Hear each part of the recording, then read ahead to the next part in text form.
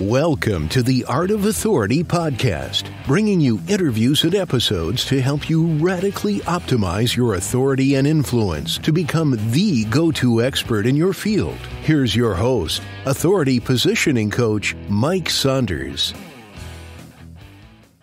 Hey guys, welcome back. This is Mike Saunders, the Authority Positioning Coach, and today we have with us Robert Glazer, who is the CEO and founder of Acceleration Partners and the author of international best-selling book Performance Partnerships. Welcome to the program, Robert. Hey Mike, how are you?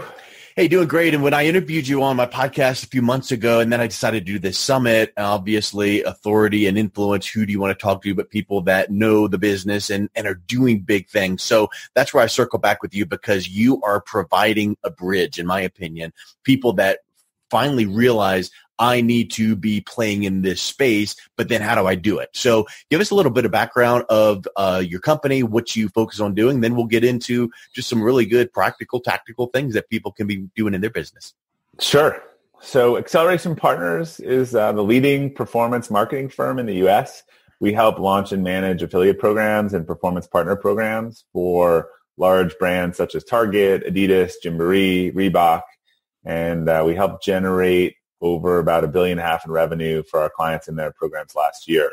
So we're, we're really just fo- we're focused on performance. We think that the future of marketing is more win-win relationships and whether you want to call it affiliate marketing or performance marketing or performance partnerships, we just think that the the the trends that you know you've been seeing something like blockchain these days are towards you know efficiency, speed, transparency, and and and and trust. And and we think that when someone can deliver a customer or a lead or an action and people can pay them for that action, there's just not a better form of marketing.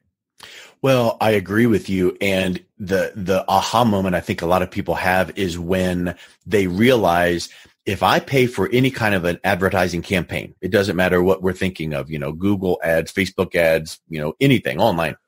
Um, you're paying up front and hoping for a result. With these kinds of relationships, you are paying once the sale is made. Yeah, we talk about the difference between paying for inputs and paying for outcomes. And I've I've given speeches in front of large rooms, and I say, raise your hand if you you would rather pay for inputs, and raise your hand if you want to pay for outcomes. And of course, everyone says outcomes, but no one is is is really doing that in yeah. reality. And it just requires both some methodology rethink and some technology, and to build a program that's just based on on results. But the companies that are doing this and are doing it at scale are having a huge uh, success with it.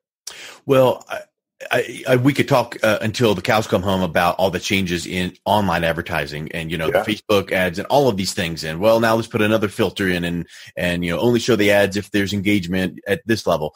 Um, so doesn't uh, a performance partnership, influencer marketing type campaign help to get around some things like that because in reality some influencer is marketing on their platform and if they are an influencer and authority then they've kind of passed through those levels to where now you really are cutting through the clutter i would think yeah, the biggest difference is that the technology becomes the, the means and not the ends.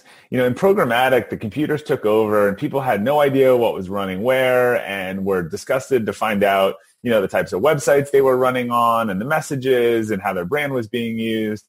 And the real difference in what we're talking about is trying to have that same sort of automation and, and programmatic element by scaling a lot of partners onto a single platform.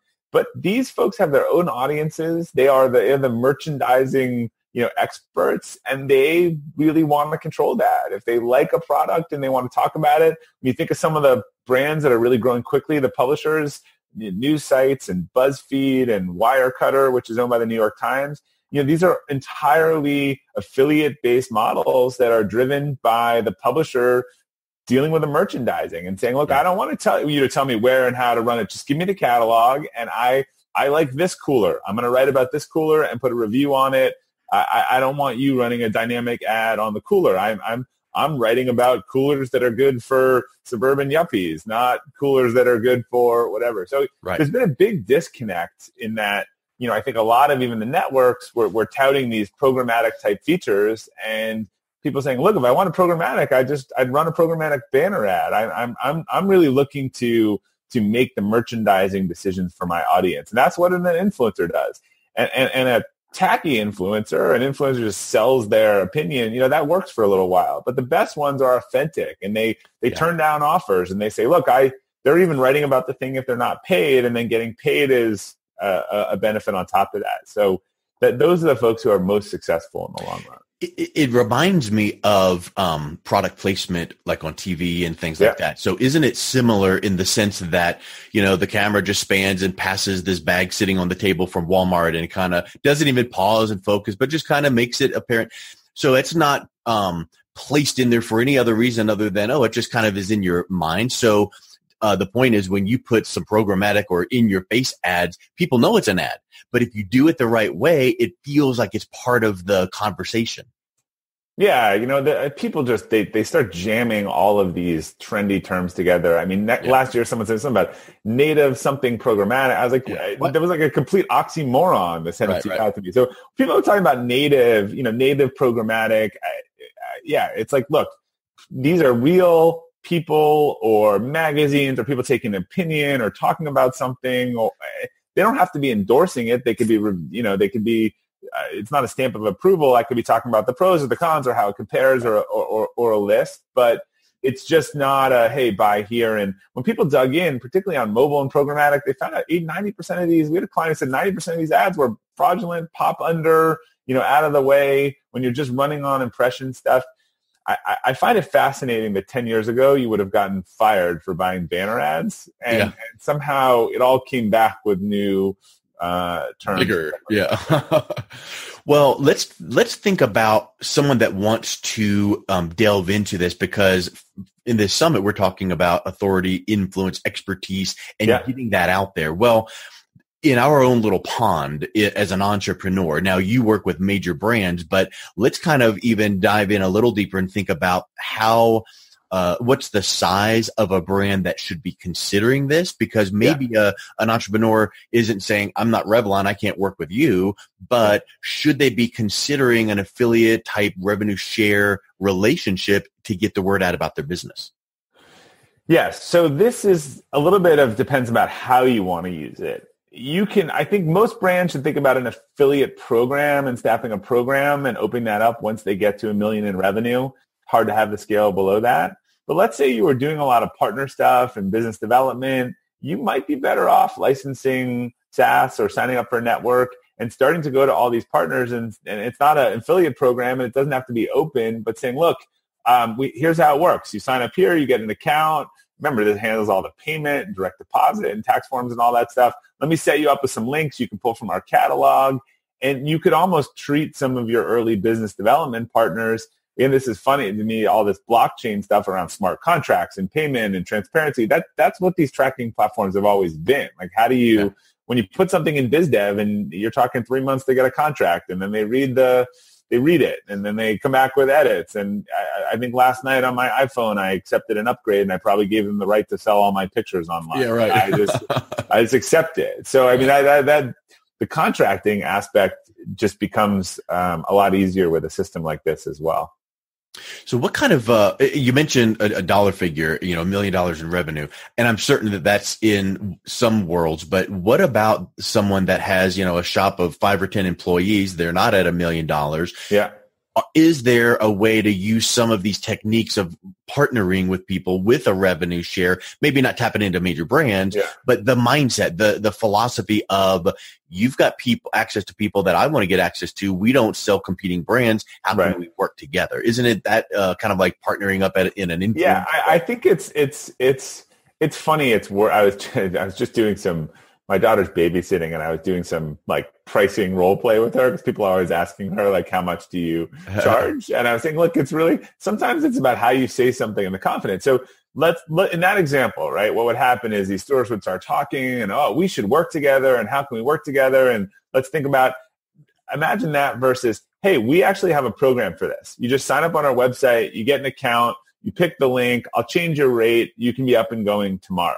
Yeah. You know, all this, we should do something and it just gets replaced by, we have a program. Like if you want a different rate, if you want a different duration, like I can go yeah. change those and the things. But, but this notion that each of these deals needs to be different versus you have a, a, a program that people join and if you oh do you need a different banner or you want access let me put that in the in the system for you Right. and then you can pull it down And, and I think that at, at the end of the day, it just gets down to we want to do a good job for people, and this partner that you're developing, um, you have to treat them like your best Yeah. client. Right. Yeah. And, and you can't just have this little burst and go, Hey, great. You did this action or blog this or posted that. right to be consistent. So let's talk about consistency from both sides of the equation, right? You can't just say, I am an influencer. I want to promote these products, do it one time and let the money roll in. And you can't be a publisher or a product or service and say, Hey, I want to get th- this partnership started and I know they'll do the right thing and just hope that it goes on cruise control. Yeah, the four elements that we say a performance partnership has and where it differs from, in some cases, from affiliate marketing, in some cases it doesn't. There's a CPA payout, you know, cash on delivery. That's the, that's the, you know, the core tenant is, is you get paid when you get what you want. But then there's transparency and, and, and there's relationships and an ongoing partnership. And that actually is different from a lot of affiliate marketing historically because it was very transactional. It was like, I don't know who they are or care who they are. If I got the sale, and if I don't like the sale, I'll credit it. What's different now is that again, people are being more open and they're being partnership oriented and they're communicating and they say, Hey, Mike, um, I, we're launching a new product this week. We've got some uh, creative that you could support it. Is there anything that you need? You should reach out. And there's human. This is what I said before. There's a lot of human involved. Yeah. This world is 50% technology. The technology is the part that makes it scale. The technology is for me to, I can have these relationships, but I'm not sending you a spreadsheet and sending you a spreadsheet and an invoice and a check. It just, it allows me to layer on a lot of these partnerships, but it requires the same sort of BD interaction that you would have. Yep. And the fourth tenet, which is embedded in this real-time tracking and payment. So part of the reinforcement cycle, you know, in the old world, I give you a code, you send the people to me, I run a report, I send it to you, you send me an invoice, I pay it. That's like four months, right? So you find out three months later when I send you this report. In this world, you would have seen, oh, my, I made $500 yesterday. What did I do? Oh, clearly Yeah. my clients like, so that real-time feedback uh, really helps the loop of some people find out when I first started in in this uh, space years ago. I talked about this in the book. You know, they, the the the company had built me a real time tracker for my code, and one day around it got to be you know your Black Friday, and I saw that I made a thousand dollars, and that was really motivating. You know, Yeah. if they hadn't given me that access, I would have found out a month later, say, oh, if I knew that, I would have stayed up all night and Yeah. double what I was doing. Strike while the iron's hot. Right. Yeah, I think that's a really, really good point. And here's something else. I've noticed this trend um, lately in the last few months, where people are talking more, uh, more and more about the advertising platforms that are getting so restrictive, right? And and they're coming back to the the principles of old relationships and Yeah. relationship marketing. And what I would say is, what you're proposing is this is the the marriage of best of both worlds. So Yeah. it's using some technology, using some trackability so that we can monetize this relationship. But you can't just plop them in a software and go have a night, you know, go to town. You've got to develop that relationship. You've got to still. and, that gives you a competitive advantage. And, and Yes. so we, we, we have a, a client that just launched a program that's part of a, a very large multi-billion dollar brand and they want some awareness quickly, you know, and, and so we, all the tracking is set up, but our team calls some folks, calls in some favors, you know, hey, you know, I can get you a really good rate on this. They've got some money to spend. Here's what we're going to do for you. Can you get this up for me tomorrow? You know, that is where the human piece layers on top of Yeah. technology. And what I, why I like it is because look, SEO, PPC, you're only as good as the last penny you're willing to spend, right? And the next person. SEO, there are these tools that can tell me your entire strategy and what you're focused on and your keywords and all that stuff. I can't just come online with one of these programs and, and knock you off. I, there's a lot of relationships and stuff that is built up there. So I, I, I just find the competitive advantage in these sort of programs is much more sustainable. you know, I, I want to pause on this relationship and competitive advantage because I think a lot of people hear relationships and going deep. And you know, Bob Burg, I interviewed him uh, in his book, The Go Giver, and he's got a new book out, The Go Giver Influencer, and we're just tying all this together. I think too many times people hear it and they, they agree with it, and then they just go right back to their old ways, right? Yeah. You know, they're they're just like, yeah, but it's so easy to push this button. But to your point, how long does a Facebook ad, CPC ad remain as long yeah. as you keep feeding the machine. And sometimes it's not even a, an efficient machine. So those relationships are where it at, where it's at. And you, you can even feel confident in that relationship because if someone else comes along, they just don't pay attention because it's like me and Bob, come on, we've got a thing. And, and look, we represent brands. So, so we always say the partner program that we run has its own brand as much as the brand does. Yeah. So we represent brands where people will work with us because they like how we work and they trust us and they will do something that they would not have done for another brand. There are some brands out there whose programs have a terrible represent, you know, reputation, reputation for getting back to people slowly, not doing what they say they're going to do, you know, coming to them and saying, "Oh, we made a mistake. We're taking back all your money." And and and and, and no matter how good the the brand is, if the if the if the if the trust and the partnership brand isn't there, then then they just don't have as much success. It's like the you're only as strong as your weakest link. Yeah. And and sometimes the best marketing is a job well done. You know, so you can do all this, you can have the best website in the world and all this great marketing and get customers, customers, sale, sale, sale. And then if you don't deliver and the product doesn't do what it says and the customer service, and all of a sudden all that was for naught. So boy, that the encouragement is to have that holistic integrated balance right. with everything from the product to the marketing to the partnership to the relationship. And then right. when that happens, and, and it sounds so easy to say that, yeah, well, you also it's not all. I mean, you. I think you earn your trust in in some of your worst periods, right? We, yeah. you know, there's a lot of data to show, and in books that a a problem resolved results in a customer that is happier than before there was the was the problem. Um, I mean, we made a really bad mistake earlier this week, uh, which I'll talk about soon. On a we had everything go wrong on a podcast that we were hosting with a very well known busy person, and you know, we backup broke, every, everything broke. Now we could just say, ah, it is what it is. We said, look, it's on us. Like we should have had a fourth backup. And by the way, we uh, really respect your time. And so here is uh, actually a donation that we've made in your name um, to value that. And, you know, the person offered to, to, to come back and do it again. And again, you have a chance in those times to really establish that relationship and say, well, I can trust this person. They're going to, yeah. they're going to do the right thing when the rubber hits the road. You know, that uh, I've thought that and said that for years, but I'm glad to hear that you have alluded to research where if you are expecting this service and you get that service, you're a happy customer. In fact, um, in, in, in other words, what you want is raving fans. I did this uh, presentation two, three nights ago, and I said, "Raise your hands. Um, how many people want happy customers?" And they're like, "Yeah, yeah." And I'm like, "No, you want raving fans. A happy customer is complacent. They're like, "Yeah, okay, that's fine. I can take it or leave it." Raving fans. So to to the point of, I've I've jokingly said this, so I would never orchestrate this, but it's almost like you want to start a relationship off and and orchestrate a hiccup so that you can come in and yeah. save the day, so that they're like, "Oh, you're so awesome." You would never do that because then that would backfire on you. I'm certain. But um, I think that that is so huge. Is if and when something happens, be authentic and human, and go look. Yeah. Not to make excuses, but the reason is we had nine backups. We should have had 10. And right. so I'm so sorry. it's on us. You did an awesome job. Here's what we're going to do. If you feel, you know, if you, if you feel it in your, in your soul to come back in the house and, and, and if they, if you had just handled that, like, sorry, here's the deal. They would have been like enraged, but yet you went and did some extra things. Yeah. And, and, and by yeah, people have, have canceled on me five minutes before a podcast that they had asked me on or forget to tell me they're on vacation and, and they just say sorry, you know, and yeah. like, it's like, look, I'm not coming back on your pod. Like, right, right. don't seem to value my time at all. Right. So I, I do really think it is how we, you know, act in those moments that some of the basis of, of, real relationships are formed.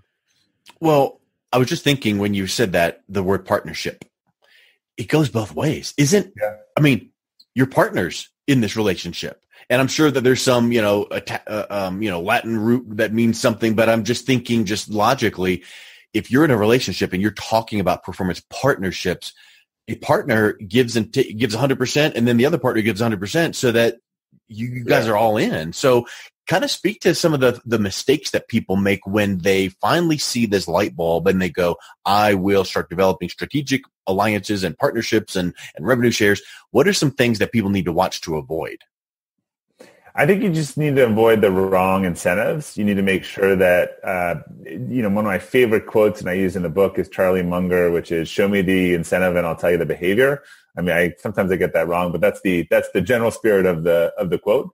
So sometimes you may think that we want to reward X and the partner is driving that behavior and it's actually not the right outcome when you go look at, oh yeah, he's getting a lot of leads, but we're calling all these people and they're, and they're not interested. So I think they're, then in, in the transparency, you could, here's what some people do. Hey, your leads suck.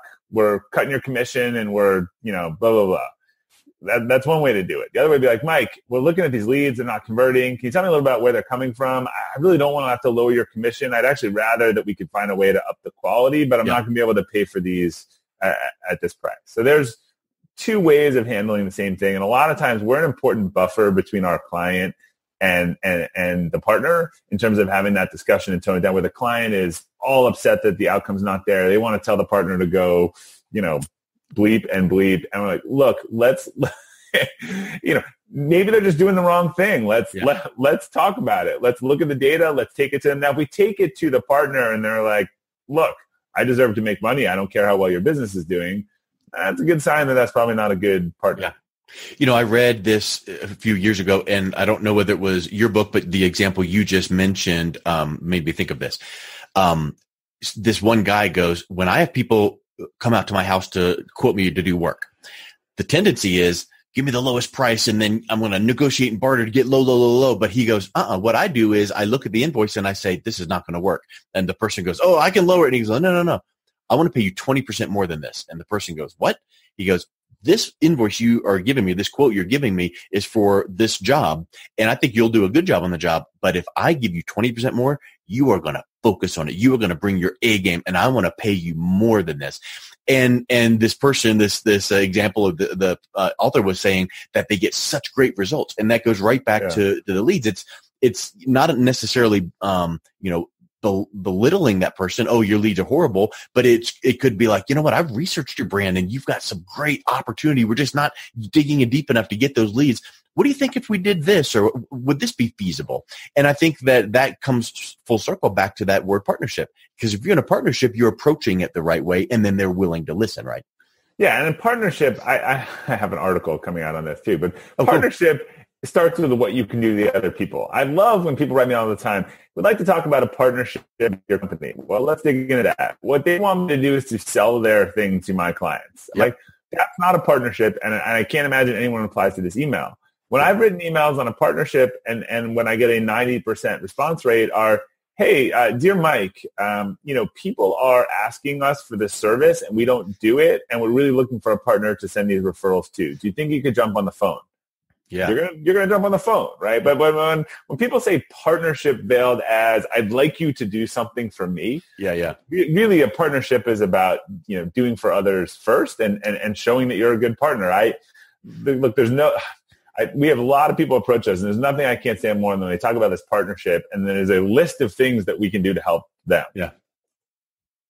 Yep. And it's like, I'm sorry, what was your last name again? Because I don't remember where we even met, if we even met, but what? Yeah, yeah, I think that's huge. So, so let's now talk about some of the upsides for, uh, you know, the small to medium sized brands that are looking to get into this. I mean, of course, the larger brands, it's kind of like you're a locomotive going down the track. So a little bit of polish here, tweak there, it's, it's just amplifying it. But for the people that are, are looking to start developing these performance partnerships, what are some of those upsides that they can look uh, to achieve?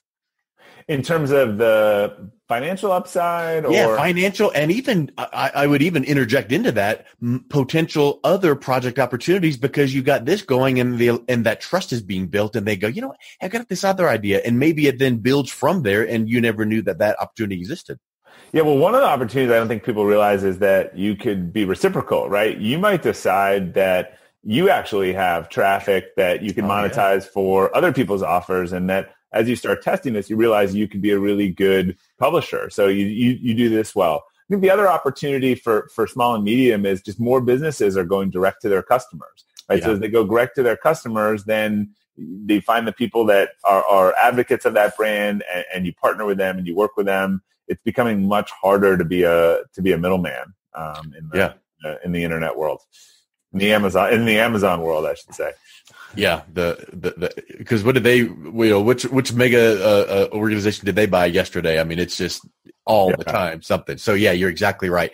Um, but it, but it just comes down to relationships. So let's speak a little bit a little bit about your um the the de- deliverable for your software, your company? What does that yeah. look like for someone that wants to explore? You know, I'm a brand slash publisher. I need to get a, an audience, or you know, I have an audience. I want to monetize it. What does that look like? Yeah. So if you're a brand and you're thinking about an affiliate program, there are tons of resources on our site at accelerationpartners.com, kind of 101 how do I think about this? When do I get started? You probably want to look at some uh, lower cost affiliate networks and think about a, a cheap way to, to, to, set your program up and not have to have a lot of minimums and, and, and costs as you get going. If you're someone out there, you said, I have influence, I have content, uh, how do I get connected to uh, all of these programs? You probably want to work with a company like BrandCycle that uh, is a is a company that we spun off years ago. What they do is they simplify all the issues about working the affiliate space because in the affiliate space you got to join these networks and platforms and find these programs. They've just found the three or four hundred programs that everyone wants and they've integrated it. So you can join once, be part of those programs, get paid with one check, get ideas and all kinds of stuff, and not have to learn how to be an affiliate. Uh, a lot of bloggers or people that have influence sign up and just the next day they're monetizing the traffic that they have already. What in that example? What are some of the brands? You know, like for instance, um, how broad are the brand offerings that you could, you know, and I'm sure it just changes all the time, right? Yeah, it changes and actually respond. They respond to requests. So they say, "Hey, I want to work oh, yeah. for this brand. Can you go get us integrated?" but it's a lot of the brands in the lifestyle market. So we try to follow from, you know, people who are getting married to having kids to buying furniture and home. That, that those tend to be the brands that people use kind of over and over again. But it's like the 80-20 rule. I, we find it's better to go find the 20% of programs that are driving 80% of the volume for people and, and make those uh, accessible. Work. Yeah, exactly. So, you know, let's just wrap up with what is the best way that people can pick up a copy of your book, Performance Partnerships, and reach out and learn a little bit more about your programs. Sure. Yeah. Best way is to go to performance-partnerships.com. You can download the first chapter for free there. Check it out. See if you like it and all the digital links. We're actually, um, depending on when this runs, it's going on a couple week campaign, the digital version for 99 cents. So you may be able to even get that for 99 cents over the next few weeks. And uh, there's a lot of resources at accelerationpartners.com. And if you want to find any more information about me, uh, you can go to my Robert S. as in Sam Glazer.com website. Awesome. Well, Robert, thank you so much for your time. It was great catching up with you again. Thanks, Mike.